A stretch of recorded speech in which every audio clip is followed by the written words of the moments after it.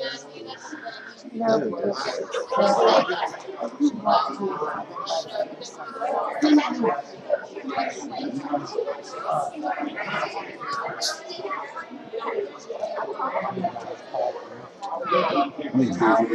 here.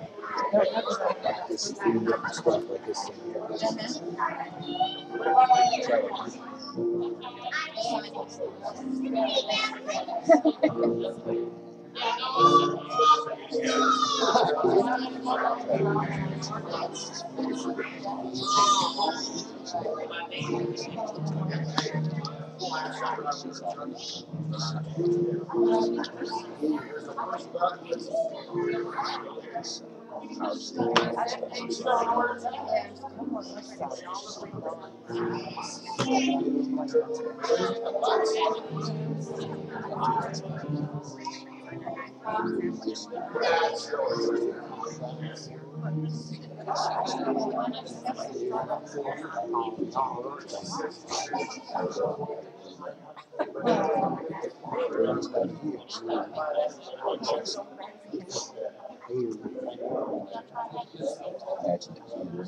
morning. Good morning. All those smiling faces. Yeah. Thing is. Just take your, take that. The cold got to. It is good to see all of you this morning, considering the weather. And of course, was out last night walking the dog about ten o'clock. And my neighbor happened to be out. We talked about the snow and how much we were enjoying it. He said, you know, if you look out across, it looks like diamonds. It was Take, pure take it and right white, to. just like Okay. Jesus and a diamond. I mean, you know, there you go. Think about that for a minute or two. Like I said, it's good to see all of you this morning. Our early hymn this morning is Blessed Be Your Name.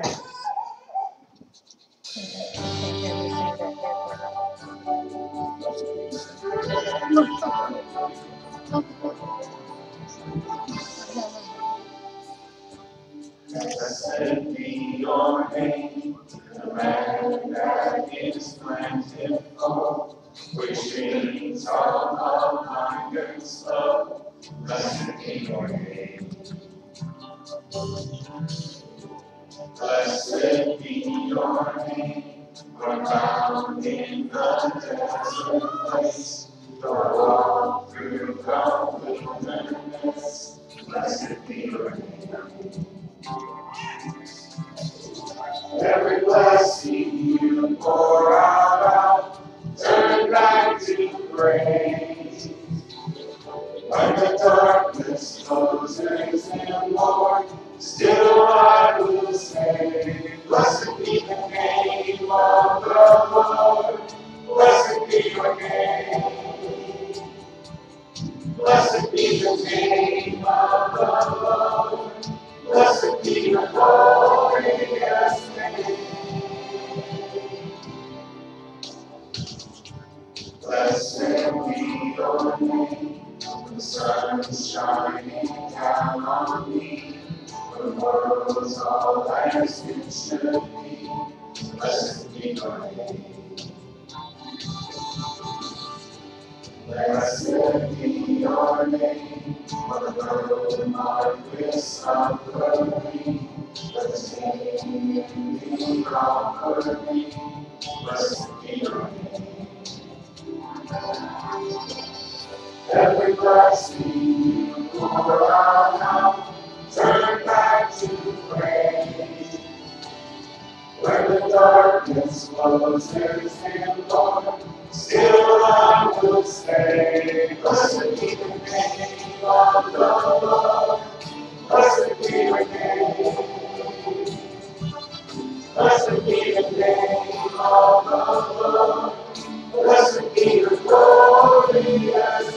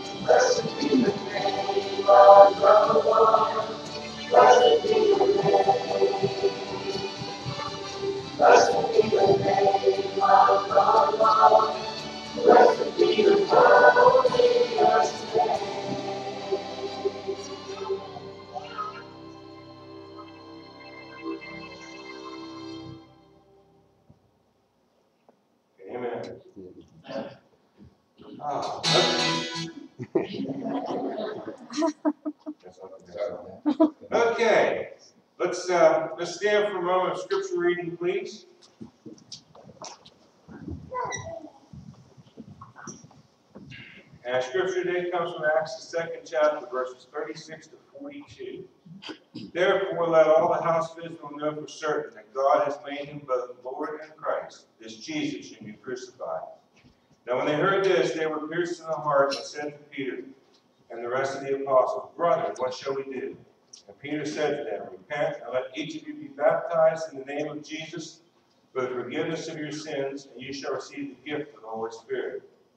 For the promises for you and your children and for all who are far off, as many as the Lord our God shall call to himself. And with many other words he solemnly testified and kept on exhorting them, saying, Be saved from this perverse generation. So then, those who had received his word were baptized, and there were added that day about 3,000 souls. You can see it. Prayer this morning is Tell It to Jesus. And that's what we're going to do at this time. Take our cares and our worries, sick, and put it to the Lord, ask Him to work His wonderful um, Aaron, still having headaches following a car accident. He, uh, that's just gonna be an ongoing thing. Just keep praying for Aaron. that, uh, He goes back on Thursday, he said. We're doctor consultation. Just keep praying that it doesn't get any worse. Um, Mandy is down ill this week. Hunter Stark heading in for his checkup this week. Loretta, as she gets fully back on her feet. Uh, Doris Bowles having eye surgery tomorrow at Mercy Hospital in Canton. Jimville, next doctor's consultation is February twelfth. Jackie, as she continues to regain her strength and mobility, and I see she just walked in. Jackie, we missed you. Uh, Patricia Barnhart for health related, Louis Barnhart for heart related, Don McCray for serious need of surgery. Also, uh, the family of Kurt Gilchrist and Kurt's passing, and that's, uh, Chrissy Hogan. Also, uh, letter to share with you says, Thank you for taking the time. The care package is greatly appreciated, and words cannot express how much I appreciate it. I hope all is going well back home, and I thank you again for the package, and that's from Chelsea Brown. Okay, prayer this morning is It to Jesus, we'll take three verses afterwards, Brother Carl us in prayer.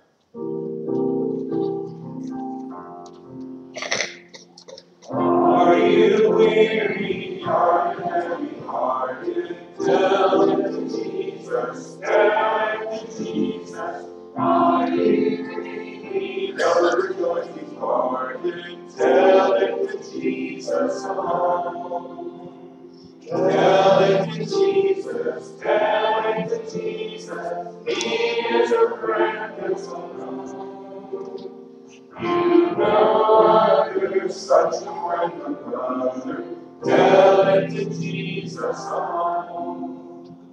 You let tears flow down Jesus' Tell it to Jesus, tell it to Jesus,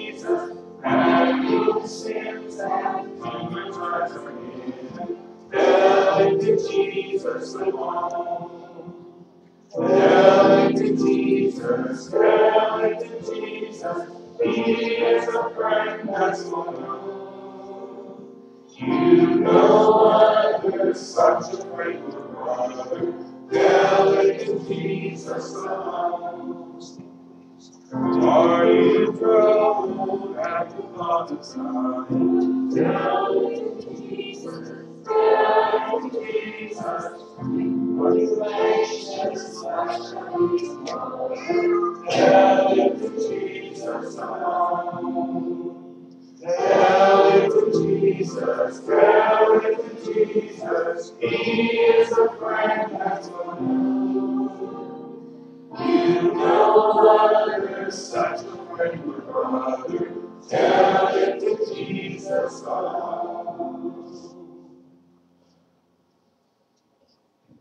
Almighty God, we thank you, Lord God, for this God. We thank you for this beautiful day, Lord God. God, as it still reminds us of whiteness, God, we know that our sins are covered by Jesus' blood, which makes him pure and white, Father God. And we know this is the only reason we'll have, enter your throne, throne room, Lord God, and speak to you personally, Father. And Father God, we just thank you for these opportunities to lift up those who needing today, Lord God, and many that are on the prayer list, different needs, Father God, we just pray that you would be with them where healing is needed, and where comfort is given, Lord God, just be with them. Father God, we pray for the lost, the not accepted your Son, Jesus Christ, and we just pray that you would open their eyes and their hearts and send somebody to them, Lord God, that they may be brought into the fold and be saved, Father. Thank you for this service, Lord God, and the word that we spread here today, and we just pray that we can use it, spread to other people, Lord God, and bring others to you. And Father God, we just give you the blessings that we enjoy every day of our life, the help that we have, Lord God, care you take of us, Father, even sometimes we never ask. Father God, we just give thanks for today. Pray this in Jesus' name. Amen. Communion hymn this morning was Blessed Redeemer, and I promise I'll sing the right verses this time. And now you, I'm sure you all had one of those mornings. You look at the number it's still do the wrong one. As we prepare for communion time this morning. Okay, here it is, the day we've been anticipating, the Lord's Day. Bet you thought I was gonna say Super Bowl Sunday, didn't you? Yeah, it's here with all the hype and hoopla. I've got nothing against the Super Bowl, but I'm a little tired of all that hype. Who's gonna win? The team with the most points.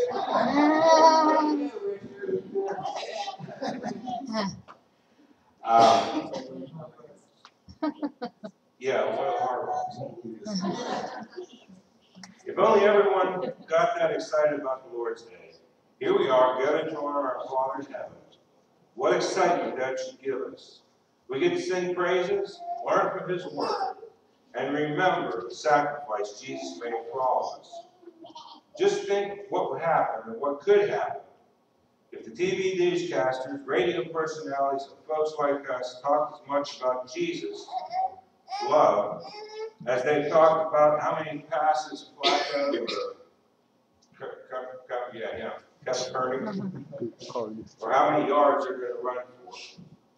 Our building will overflow. Just now, we're going to honor Jesus' sacrifice around his table. We'll share the bread, his body, the cup, his blood. What greater event is there? So just now, forget about Flacco or forget about Ray Lewis or whoever and focus on Jesus' love for us and strive to be as excited every week about the Lord's Day as the world is for the one week of the year. Yeah. Communion hymn is Blessed Redeemer.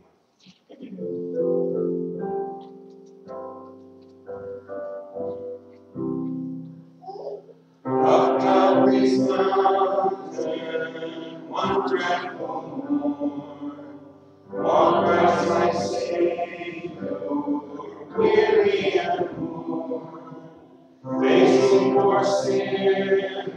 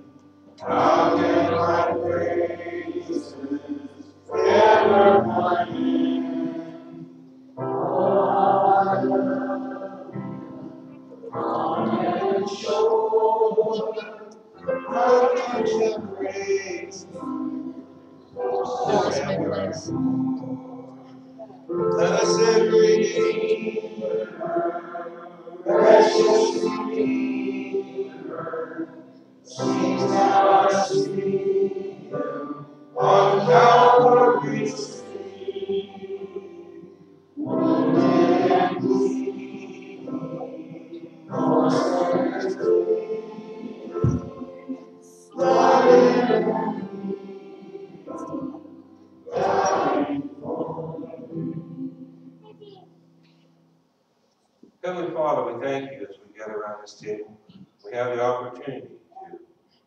share in the body of Christ is it represents, bread represents to us that body was so broken bruised on Calvary's cross. All Father for the sacrifice for his love for each and every one of us. Just now as we partake, let remember that sacrifice. And Father, let us leave renewed and refreshed to serve you. For this we ask in Jesus' name. Our Father in heaven, we continue our thanks to you, knowing that uh, as we go through life, that we must depend on you. We know that your teaching is such that we can live daily. We ask that as we go for our ways, that each of us will depend upon you and your teaching. We give you thanks for your guidance.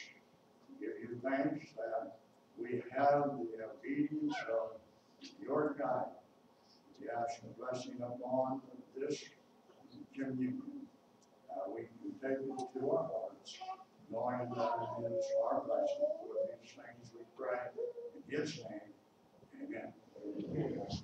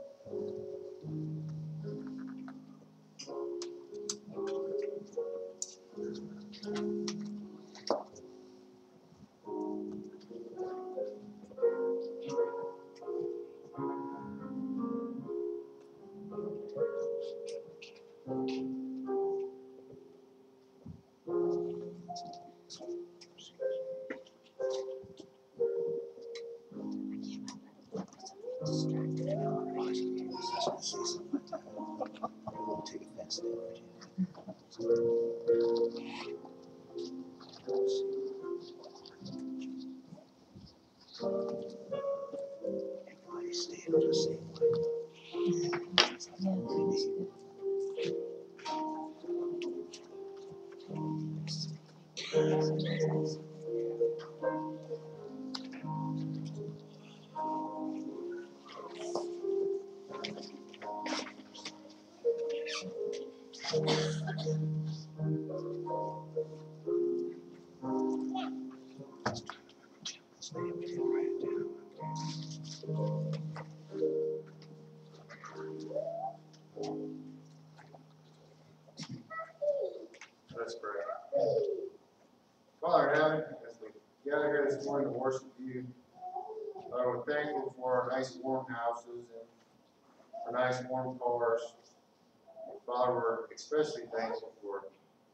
Gift of the Holy Spirit and for your Son who walked this earth and showed us the way and died on the cross that our sins may be forgiven.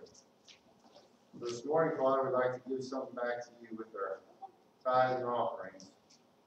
Father, we ask that they be used to advance your kingdom here on earth. In Jesus' name we pray. Amen.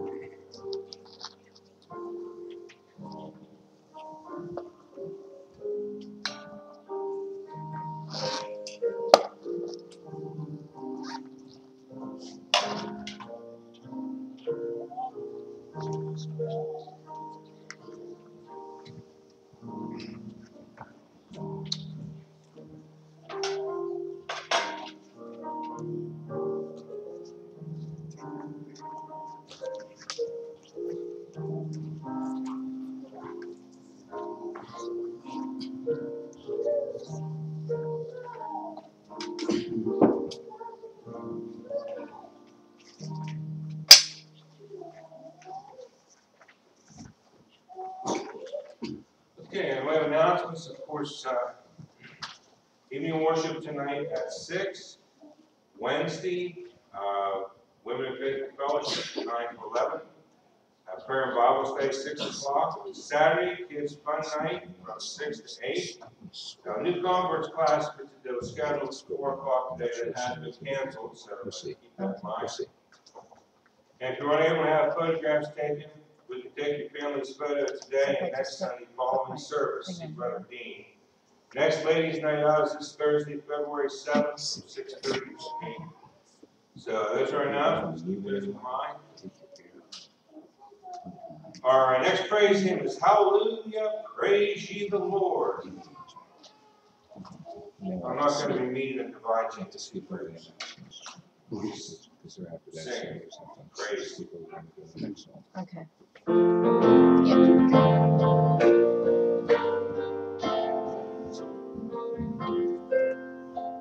Hallelujah, hallelujah, hallelujah, praise ye the Lord. Hallelujah, hallelujah, hallelujah, praise ye the Lord.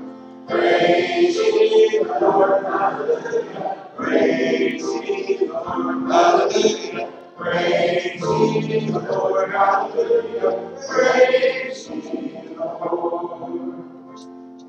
Hallelujah, hallelujah, hallelujah. Praise the Lord. Hallelujah, hallelujah, hallelujah. Praise the Lord. Praise the Lord, hallelujah. Praise the Lord, hallelujah. Praise the Lord, hallelujah. Praise the Lord. Okay, as we dismiss the children's church, I've got a hundred for it.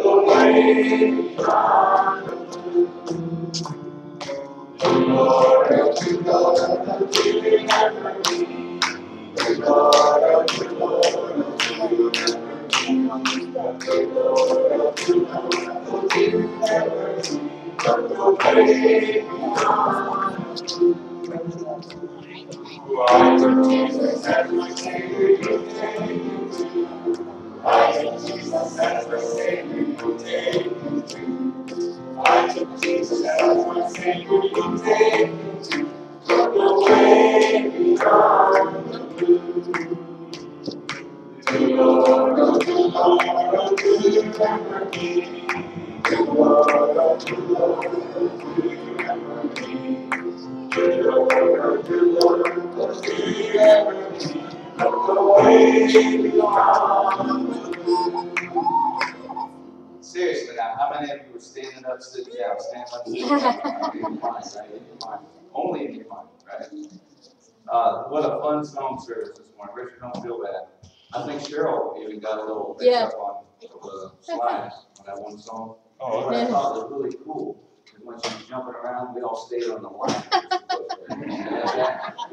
Uh, oh, how I love him and heaven above or something like that. So good job, Cheryl. Good. It's really neat.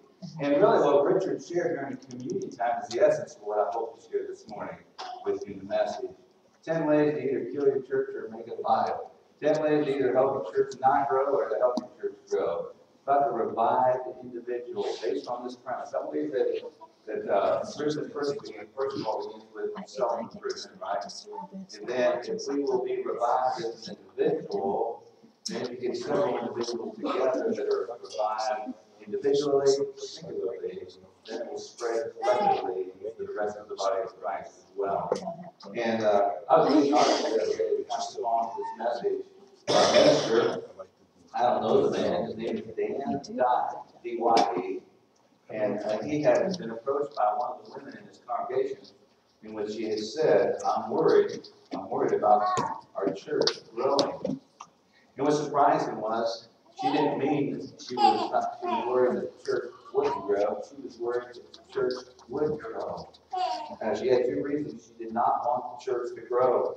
She said, I want to grow this, I want the church to grow bigger because that's number one, I don't know everybody.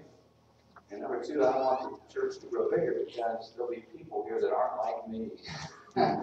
And so he was kind of alarmed at that. And he came up with, in a way, is a, is a humorous way of looking at it, but also to see these things happening. He wrote an article, 10 ways to make sure your church doesn't grow. And I'd like to share these first 10 ways to make sure the church doesn't grow. Number one, he said, don't have a clear vision for the future. Make sure you don't have a vision for the future of your church. And if anyone does, make sure you muddy it and keep it muddy so no one knows because where, where there is no vision, the people will perish. Proverbs 29 18. Number two, don't have any leadership structure in the church. In other words, make sure that if your church does have strong leaders, if it's unfortunate enough to have strong leaders, as he said, uh, then don't support them. Stand in their way at every turn. Make sure you're against anything the elders, the minister, the teachers, or anyone else involved in growing the church. Make sure that you cause as much division as you can. Make sure others know that you're upset. Start as many arguments as you can in the church. And then the leadership has to go around and put out all those fires and be able to focus their attention on helping the church grow. Number three, said, make sure you don't build any relationships outside the church, especially with unbelievers. I mean, mom taught you as a kid, didn't she? Don't talk to strangers. Say, hey, we're just obeying mom, all right? So don't, don't associate with anybody outside the church. Number four, this is my personal favorite. If you don't want your church to grow, lock the doors of the church building just before worship. and because it is your church, so lock the doors. And uh, you can lock doors if you want. And if people start to knock, just sing louder like we did today. Eventually they'll go away. Number five, he said, if you don't want your church to grow, talk badly about your church to everybody you can. Be sure to tell them how much you dislike your church. You're not happy about that nasty color they painted in the nursery. Well, have voted against that if I, I had a voice now. Be sure to tell your hairdresser how long-winded your preacher is. And don't forget to tell your neighbor all about the fight you started with the greeter that week. Just focus on the negative, spread it around to everybody that you can, and make sure everybody in town knows how unhappy you are about the direction your church is going. Number six, some of you smile because you've heard this, you've seen this happen out there, you? Number six, discourage new people from getting involved and connected. Now, even though you're trying hard to make sure your church doesn't grow, he says, sometimes folks are still going to come. You have some new folks show. So the solution is tell them to in the seat, tell them they can't help in the church at all for at least six months. And before they do, they're going to have to take a 25 week course before they're even permitted to take out the trash. Uh, he said, I mean, you can't just have everybody taking out the trash, you know, so make sure they don't get involved. This will discourage them, and eventually they'll get the message they'll leave. And you want to speed up the process, he says, on this particular point, during praise and music time, make sure you stare mean at, them, give mean daggers, you know. So, number seven, make sure you don't show any excitement in the church. Don't smile, don't laugh, don't do anything that might resemble that you're having a good time. Because church is supposed to be serious, right? And so don't smile. Come in every Sunday like you just got baptized in lemon juice. And if anybody's excited, just try to discourage them the best you can. By hey, what you're trying there, it's not going to work. Try that, it won't work. Number eight, don't help your community, he said. You don't want your church to grow, don't do any outreach. Remember, the church is all about you. And so don't go out of your way to help those in need. If you drive by that homeless person, just keep telling yourself, I know it's because they're on drugs, it's, it's, it's all their fault, so, you know, they made their bed, they can sleep in it. And when people do come into the church needing help, make sure you let them know, we're not here to help people. We'll let the big churches down in the big city do that. Number nine, one again, one of my personal favorites, because I like to have these, especially when I used to dean up at the church camp. Uh, make sure that you have a long list of rules on your front door. I remember doing a, a week of camp several years ago, and I had like four pages of rules. It took, it took no kidding, an hour to go over all the rules with the kids, you know. So it, it was a real damper to say the least. But anyway, put them on the front door and make sure the page is full, you know, and at the top of the list, have a dress code so people know what they're allowed to wear and what they're not. And uh, the more constricting, the better. And second on the list, this would get rid of Aaron Capers right away. I don't know if I told you about this last night, but he said at the, at the start, it should be no coffee, no coffee. That'll get rid of fif- Richard. No coffee, so that'll get rid of fifty percent of the people right off the bat. No raised hands in worship, women no wearing pants. No, no, no. The more, more constricting, the better. And then number ten, be sure to keep all your activities within the church building. Don't go outside do anything. Don't go on any mission trips, no outreach. Don't do any outings with the church members. Stay out of touch with the world and stay out of touch with each other. And maybe, just maybe, hopefully someday, people will forget that you even meet down at that building and they'll go somewhere else. That's ten ways how to make sure your church does not grow. How many of you would like to see the church grow, right? And you know it starts with self-improvement. It starts with the individual. I put on your on your seats there, you have a basic outline. Actually, it's the action article written by a minister years ago, a minister by the name of A.W. Tozer. I don't know much about the man. He was born in 1897, died in 1963. He was an American minister. He was not from the Church of Christ or the Christian Church. He was a minister for the Christian and Missionary Alliance. I know very little, if anything, nothing actually about that church or their teaching. But when I read years ago this particular article, I found it profound in its points do have scriptural backing. So I thought, for your benefit, I'd like to share that with you this morning, and in addition to what's listed there on that page, also provide scripture that goes along with these points. Because to me, you know, a minister or teacher or professor or an author, this man authored over 40 books, they can give you advice on how to improve your life. They've got diet programs to improve your life. There's folks out there with self-improvement to be a better speaker and all those things. Those are nice. But when it comes down to offering biblical teaching, uh, even from a minister here, uh, if you can't back it up by scripture, if it's not found in the Word of God, it's not really worth its salt to share. Does that make sense?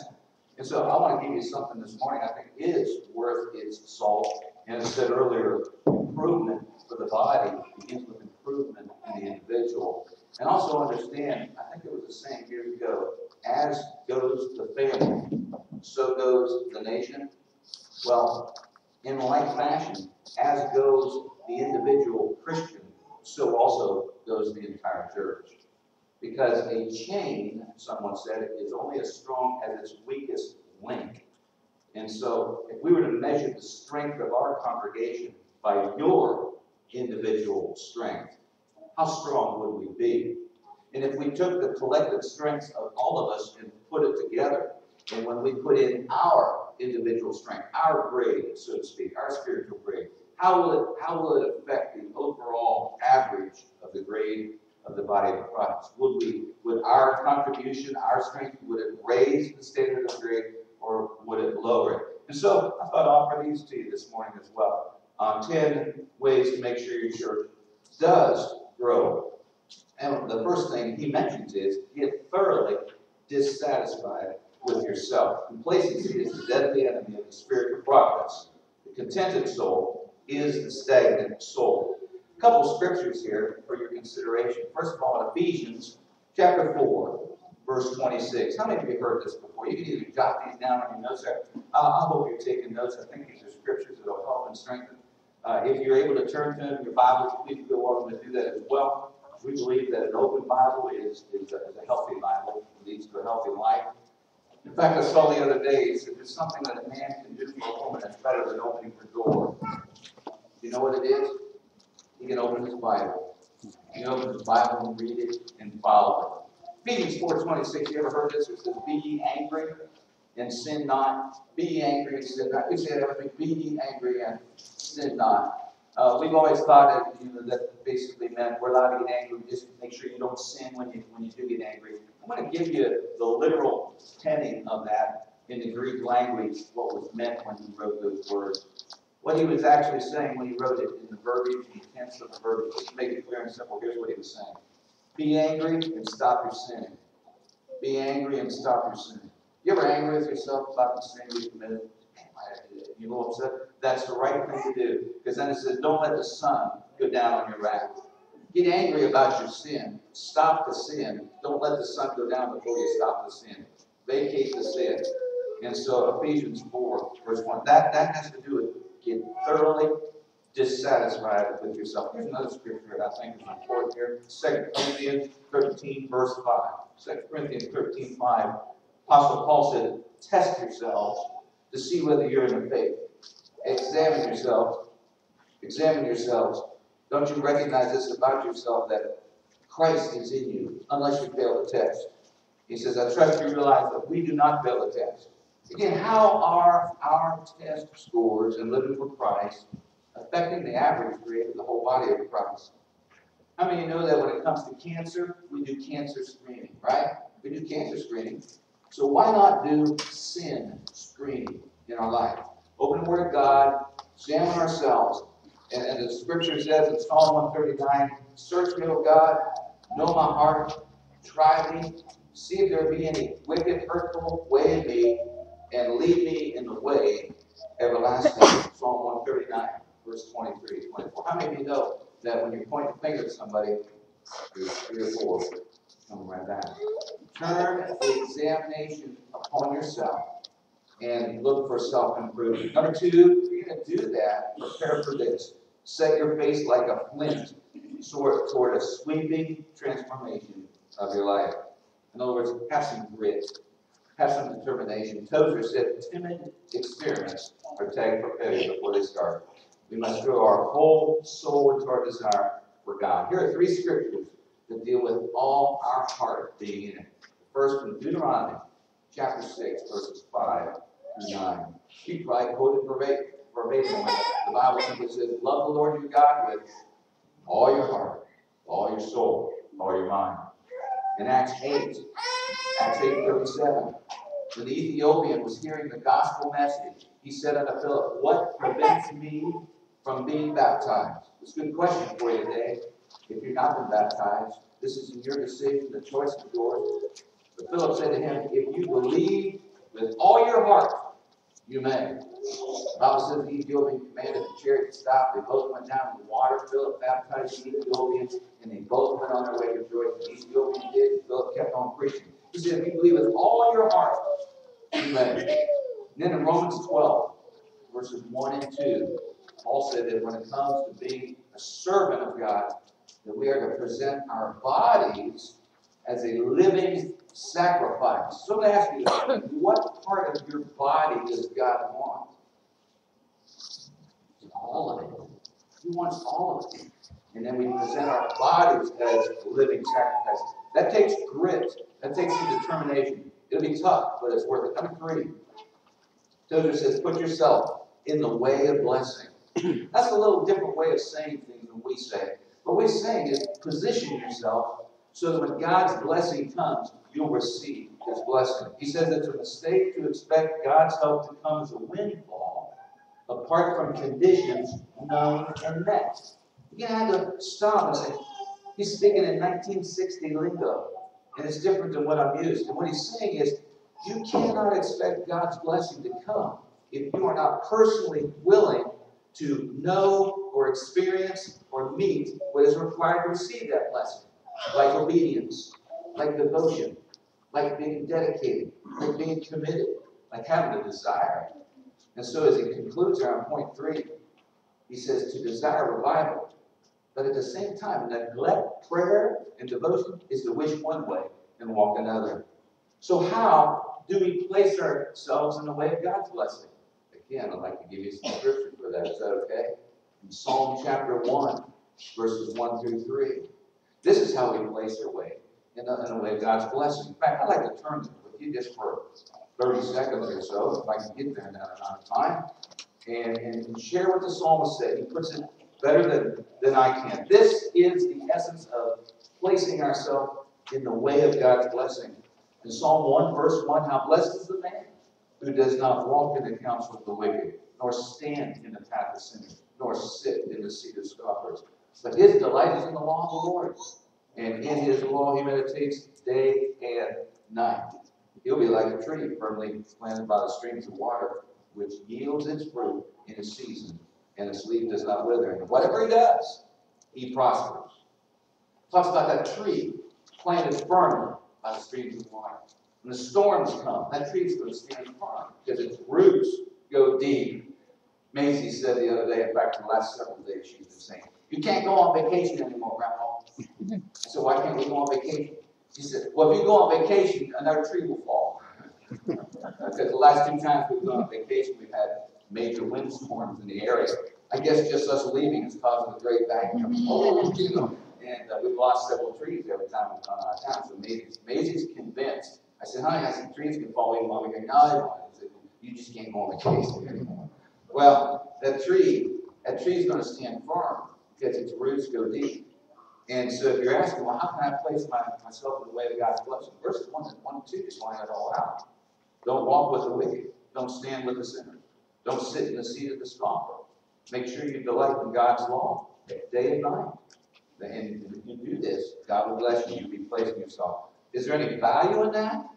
Well, Proverbs chapter 20, verse 7 speaks of the value of it when he says, A righteous man who walks in his integrity, how blessed are his sons after him. So not only do we place ourselves in the place to receive blessing, but if we walk with integrity before God, we also bring blessing to our posterity, to those who come after us. And it requires being single minded. James chapter 1, verse 7 talks about double minded individuals. They won't receive anything. Don't let them expect to receive anything from the Lord. So that's a powerful one right there. Uh, to think enough of yourself, to purposely place yourself in the path, not with semi truck, but purposely place yourself in the path of God's blessings by simply applying these biblical teachings. Number four, though, requires doing a thorough job of repenting. A thorough job of repenting. Uh, how many of you would come home sometimes and the kids have been something they shouldn't have done, you were getting ready to discipline with the rod of discipline? Can we say that publicly? I still believe in that. Don't spare the rod. He won't die for. You, can cry out, but he won't die. All right. Uh, the rod of discipline made for the for the fool. The Bible says the rod of discipline will drive foolishness from the heart of a child. How many of you have ever been exercised by the rod of discipline of a? It's called a paddle. How many of you haven't had that before? Okay. Um, and you, you came in and they realized they had it. And you went for the paddle, right? Our kids, their first thing, I gotta go to the bathroom. Well, you better make it quick. There was all, they always had a reason they couldn't come to where I was. But, you know, they say, uh, they certainly, they were, would you agree they were sorry?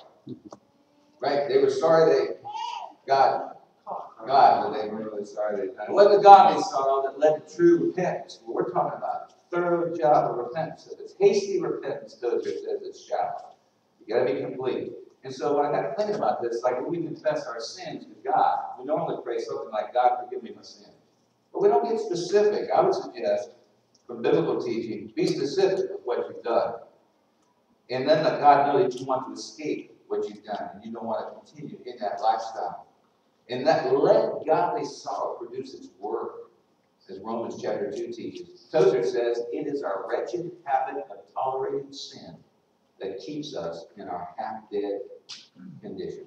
In fact, if you look through Scripture, repentance is one of the major themes. It comes from the Greek word metaneo, meaning about face. When a soldier is given a command, about face, uh, when is he supposed to do that? Immediately. And how much of an about face is he to make? Completely. So if we're headed towards sin, and God says about face, what, what part of the body should make the about face? The complete body, not like Lot's wife. Not like Lot's wife. We look back. Some scriptures on repentance, Luke 13, verses 1 through 5. Jesus speaking to a crowd that thought everybody was worse sinner than they were, thought everybody else was going to hell except them. Jesus said, unless you repent, you'll perish. Matthew 3, Matthew 3, verse 8. When John was baptizing people, the Pharisees had come to be baptized, and he wouldn't baptize, he refused to, until they repented. He said, bring forth fruit in keeping with repentance. In Acts 2, verse 38, verse from which Richard read this morning, I appreciate the scripture reading, Richard, today. Uh, Peter, before he mentioned the command of baptism, said what? Repent and be baptized. And every one of the churches, uh, not everyone, but all, there were at least five of the seven churches in the book of Revelation that Jesus' final command to them was not, was not going all the world and preach the gospel. His final command to them was, repent, repent, or I'm going to come and remove you from your place. Number five, make restitution wherever possible. I kind of calculated this at the beginning. Um, kind of keep going with the kid. I calculated it's got about 24 slides with about 30 minutes to do it, so that's about a minute slide. We we spent over a minute there, so let's go on, shall we? How many of you have ever owed a debt to somebody and you didn't pay it? Well, Tozer said, make restitution wherever possible.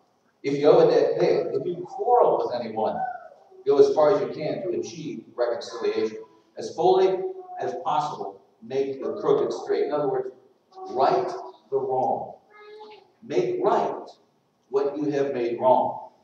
Now, in Luke chapter 19, verse 8, what do most people know about, you know, those word association games? I'll throw out a name here and just first thing comes to your mind, right? Zacchaeus. Right? How many thought little, short, want to see Jesus climb the sycamore tree, right? Jesus, Jesus says, come down, come to your house today. Well, that's where most people stop off with Zacchaeus. But in Luke 19, verse 8, after his encounter with Christ, here's what he said to the Lord. He said, Lord, half of my possessions I give to the poor. And if I have defrauded anyone of anything, I'll give it back. Anybody remember how much he was willing to pay back? I'll give back four times as much. That's a good biblical principle, but I don't, you were required Old Testament give back four times, but if you stole something, you didn't just give back what you stole, you had to either double or triple. I like the four times. You defraud me of a hundred bucks, means you owe me four hundred. At least that is, at least one is ten. So well, that's only if.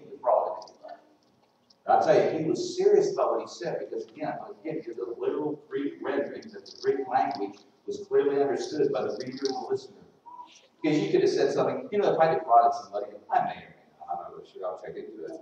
Then I'll, I'll give four times as much. It could have been an empty promise, right? But there was another way of expressing it in the Greek language. We can do it in English language as well. I just did it one way in English language. If I defrauded anybody, I did, I don't know, I'll check.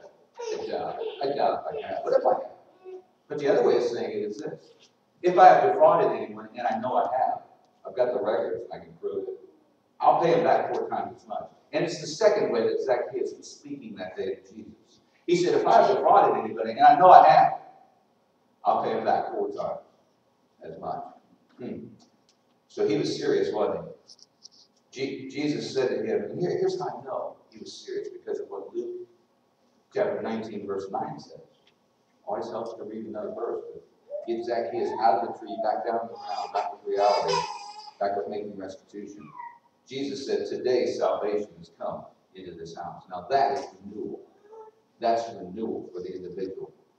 Is that the way you find it in yourself? Another place the scripture talks about settling accounts, making things right. I was joking, joking with the men uh, a while back. We had a really low offering. I was joking with them about this passage. Matthew 5, verses 23 through 26. This is where Jesus taught us that if you are presenting your gift at the altar, there you remember your brother has something against you, what are you supposed to do with the gift? Leave it there. Don't give it. Don't give it. Don't give your gift to God until you have gone and settled things with your brother. You're going to give your offering. And you say, Oh, I got, I know somebody's upset with me. You don't give that offering until you get things right with your brother. Then once you get things right with your brother, what do you do? You come back and give the offering. We had a really low offering one Sunday. I said, the reason it was so low is because a lot of folks realized that one of their brothers or sisters was upset with them, so they kept their offering. So they got things settled. then the following Sunday, you know, huge offering. So praise God, got, got all things settled there. Number six, bring your life into alignment, as you said before, bring your life into alignment with biblical teaching. He mentions the Sermon on the Mount and other New Testament scriptures that are designed to instruct us in how to live right. And then he makes this, wow, it strikes to the heart. An honest man with an open Bible and a pad and pencil is sure to find out what's wrong with him quickly. Does anybody know why? Does anybody know why that if you're honest and you open the Bible, and you look into the mirror here, does anybody know why you'll find out really quick Because this mirror, as well as the mirror in your, your home, your bedroom, mirrors don't lie. Gives an accurate reflection. When we look down, we're honest, we'll see it.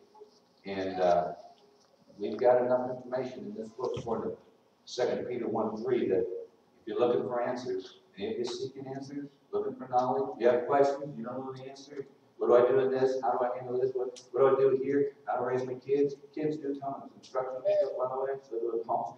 Peter said that God has given us everything that pertains to life and godliness through the true knowledge of Jesus Christ. There isn't a single topic you can come with me. So if I've got a question about this, I've got a question about that. I'm sure what's about. There's not a single topic on the planet anywhere, but what God's word doesn't in some way address it and teach us how to progress. And in John 17, 17, how many know what Jesus says when he said, Father, sanctify them in the truth. Your word is true. And so my point here is this. When he says, when this, this minister, point number six, when he says, bring yourself into alignment with the biblical teaching. Here's why. Because the Bible is the source of guidance on any matter in life, regardless of what it is. And God's ways are always true and always right. He's not left anything to chance. He's given us an answer for anything. He says all things pertain to life and godliness. We can know about it study the life of Jesus Christ. And then number seven, this doesn't mean you can't laugh, doesn't mean you can't have a good time, right? Become seriously minded. In his day, Tozer said that people in the world used to go to movies to escape serious thinking about and religion. Used to, and I think there are a lot of other ways that we seek to escape the serious nature of life. He said, if you want to have improvement in your interior life, there must be radical change, radical change in your habits, or there won't be any improvement. And I'd like to give you another scripture, if I could. Is that okay this morning? Be giving you scripture with these? Second Corinthians chapter four, verses thirteen through eighteen. Again, I'm going to turn and take time for we're, we're getting near the end here. Okay, better keep moving here. Kind of come coming up on, on that hill there on Main Street, getting on the High Street. That's snow. You keep moving here so we don't get stuck. Right? Is that okay? In Second Corinthians four, verse number thirteen having the same spirit of faith, according to what is written, Paul says, I believe, therefore I spoke. We also believe, therefore we speak. Knowing that he who raised the Lord Jesus will raise, raise us up with Jesus and present us with you. For all things are for your sakes, so that the grace which is spreading to more and more people may cause the giving of thanks to abound in the glory of God. Therefore we do not lose heart. Though our outer man is decaying, our inner man is being renewed day by day. For momentary, light affliction is producing for us eternal weight of glory far beyond comparison. While we look not at the things that are seen, but the things that are not seen, because the things that are seen are temporal. In other words, they're temporary. The things that are not seen are eternal. From those verses, there are so many ingredients that come into the approved life so that we can grow and be revived. He mentions in verse 13, faith. And then in verse 4, 13 also, because we have faith, because we believe, that's why we speak. He mentions in verse 14, the knowledge of end events. To be a servant in itself. Just knowing how things are going to turn out in the end when the Lord comes. How that's all going to work out in the life. Dead being raised and all that. But then he mentions also in verse 15 that you need to keep a proper motive for why you do what you do, even when you're suffering. And as a result, in verse 16, as the outer man is decaying, how many know your outer man is decaying, right? Mm-hmm. Right? Right. Look at a picture from 20 years ago, say, man, what happened? Mm-hmm. You know? You're decaying on the outer. And Paul and Silas in Acts 16, when they were in prison, they had just been whipped and beaten, they were bleeding. Outer man was definitely decaying, but there they were singing praises to God and giving thanks. In other words, their inner man was being renewed. So how many of you can understand then that if you have a proper perspective of suffering, the suffering is not always a bad thing. Paul said it's momentary. It's light. It's nothing in comparison to the glory that to receive. And so keep looking at the things that you can't see. Keep looking to your eternal reward in heaven. And don't let your focus on these things right before you discourage you and cause you to have a downfall in your faith and walk with God. And that involves being sober minded, seriously minded. Uh, our world trying to escape reality. Uh, look in the mirror again and say, man, I'm getting old. And the next thought is, man, I'm getting a lot older than I thought I was. And the next thing is going to mind, someday I'm going to die. And that's why we need to be seriously minded, live with the end in mind. Does it mean we can never tell a joke? Does it mean we never, no, it doesn't mean that at all. But there's a time to be seriously minded. As Paul told the Corinthians in 1 Corinthians chapter 15, who weren't living like there was going to be a resurrection someday. He told them in 1 Corinthians 15, verses 30 to 34, in essence, he said, You need to become sober minded and sin not. And there, there, there, there's that sin not again. And he literally penned the words Become sober minded as you ought. Stop your sinning, because some have no knowledge of God. I speak this to your shame. shame. So remember, if you're just going to be complacent about this and always be compromising, half hearted devotion, it won't cut it for those of us who've been bought with price. Number eight, deliberately narrow your interest to many projects, eating up our time without bringing us nearer to God. I'll, I'll share more on that at a later time. We're going to narrow a lot of things. We're going to narrow our vision, our energies, our devotions. We've got to intensify our resolve, our grit to do the work of hanging in. Number nine, begin to witness. Find something to do for God with the talents you have. Make yourself available. Don't do it. Don't, don't be saying no all the time when you're asked to serve. Now, I will caution you here. When you're asked to do something, If you're not able to do that, truly able to do that, then, then say so. You, you don't want me fixing a three-course dinner for you, right? Because it doesn't lie within my ability. I can handle baked beans, macaroni and cheese, you know, that's not it, I can make that, but, and that is microwave or minded hamburgers. If it's not within my ability, you know, I've got to, but if I can do it, you know what your talents are, so if you're able to do that, and reach out to others, here's some scriptures for your study, Proverbs, if you want to be wise, that is, Proverbs chapter eleven, verse thirty, talks about the wisdom of winning souls. Daniel chapter twelve, verse three, talks about how you, you will shine like the stars of heaven if you do what's right, bring others to Christ. Uh, Matthew twenty-eight, I think we're familiar with, but Matthew 28, 19 to twenty. As you go, disciple all nations. Disciple, just teach others. Share what you know about Christ. Take your Bible and share what you've learned. Yeah, Here's the Bible. Let them read it. Let them respond. And when they say, well, what prevents me from being baptized? All you have to say is, if you believe with all your heart, today. And, then find water sufficient to immerse them. Revelation 22, verse 17, the Bible says that the Spirit and the bride say, go.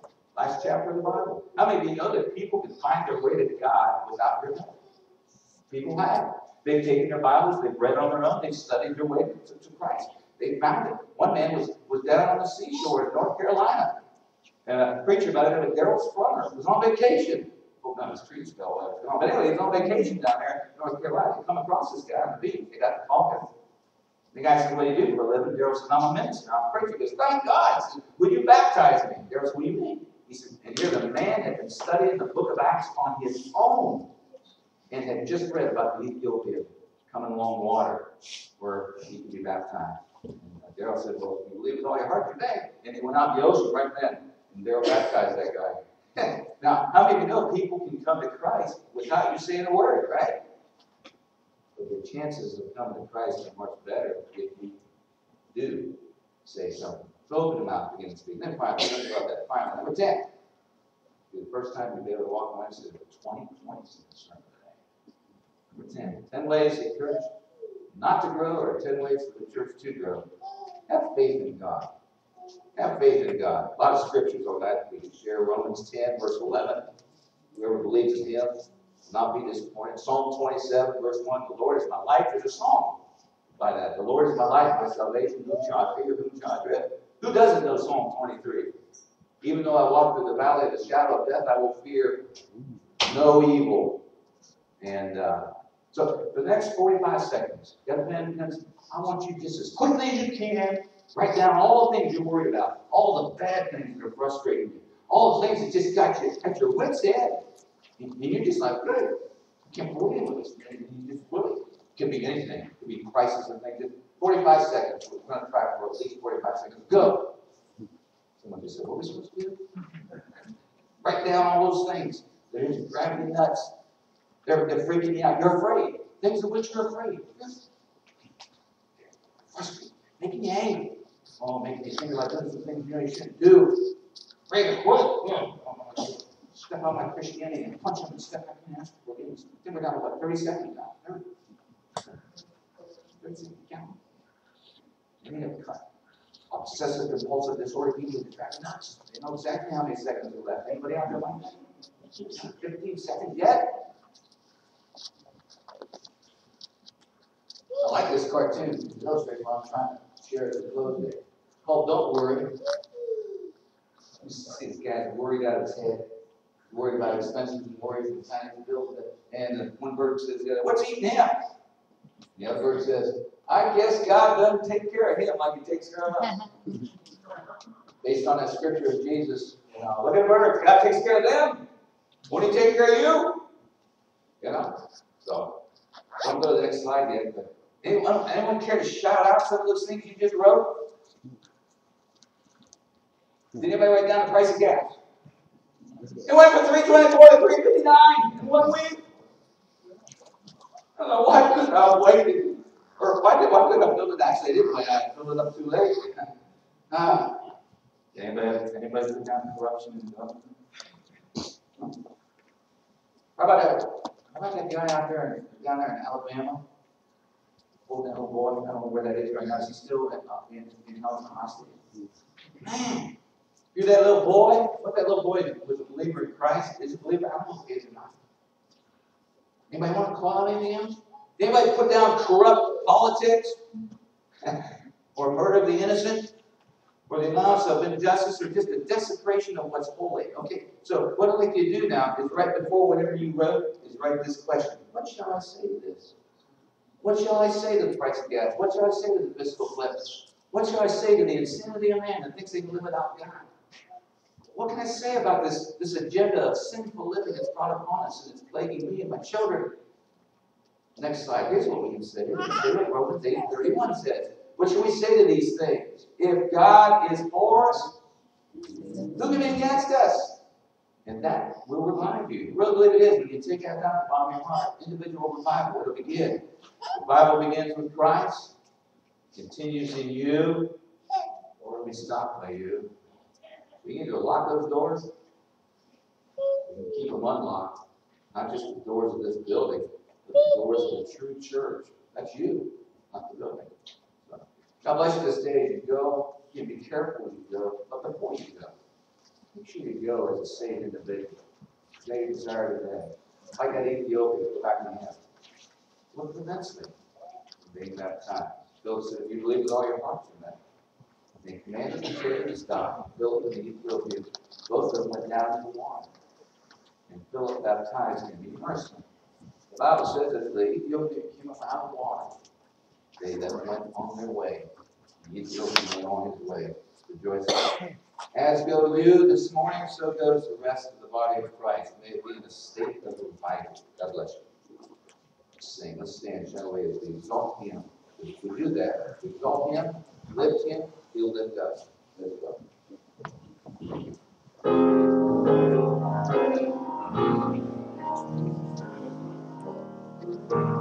He is exalted, the King is exalted on high. Praise him, is exalted, forever exalted, I will praise his name.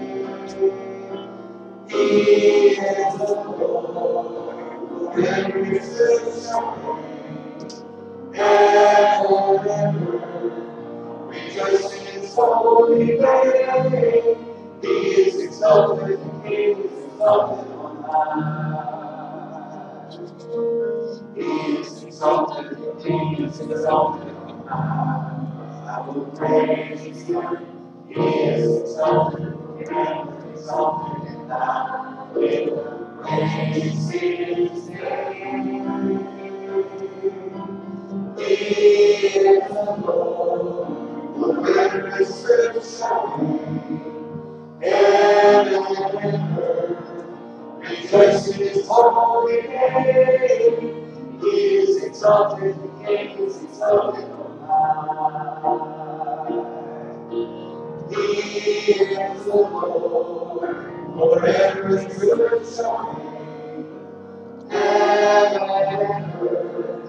rejoice in his holy name. He is exalted, the King is exalted on high. He is exalted, the King is exalted. That song and the first song we sang, was very well been sung. None other, than man in the Old Testament, had every reason to complain, he was hard to know his name was. He had it all, the wealthiest man on the planet, probably. And he lost it all one day. And he said, Lord gave, Lord took away. Blessed be the name, amen. And he was, he, he could have sing, blessed be the name Or he is exalted. So next time something comes up against you like that, whatever it is that's bugging you, eating you from the inside out, and just making you bitter, start singing, praising God. It's on in. Just keep that, that fire of the Bible alive in you. As far as we know, we'll be meeting tonight at six o'clock. Road safe, please come out and join us for that. I need to find out from those that are in the new converse class, on your way out today, could you let me know any others during that, that'll be canceled today, we'd like to get word from that. Wednesday fellowships of this week, Women's Faith Fellowship, also study of Wednesday night.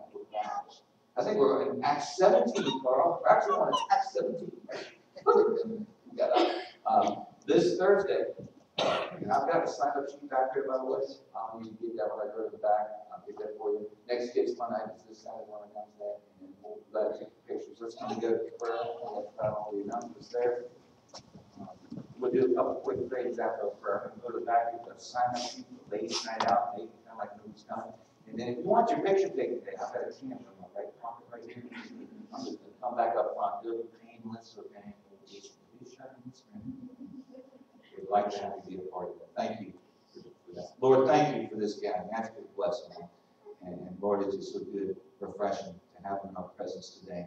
Thank you for the devotion to come out, join us, and encourage us. In Jesus' name, amen. Get that, let's, uh, we got our front, we have our one.